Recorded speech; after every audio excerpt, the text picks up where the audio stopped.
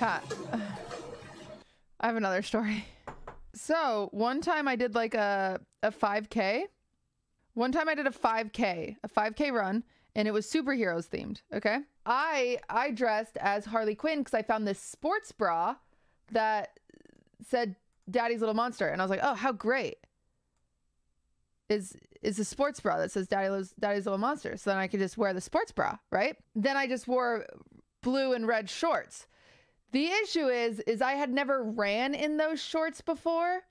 So what happened as soon as I started running is they just started getting literally sucked up my ass. Then my friend comes up and she starts running behind me and I'm like I'm like what's happening? Like she like grabs my hips and she's like behind me and she's like we've got to do something. And I was like why? And she's like what? And she was like the boy behind you has been taking pictures and filming your ass the entire time.